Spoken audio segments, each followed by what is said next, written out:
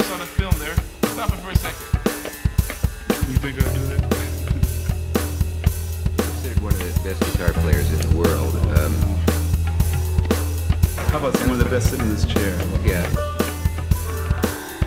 Do you consider yourself a disciplined guy? Do you get up every day and work? Well, I try to get up every day. When you mention the national anthem and uh, talk about playing it in any unorthodox way, oh no. I thought it was beautiful.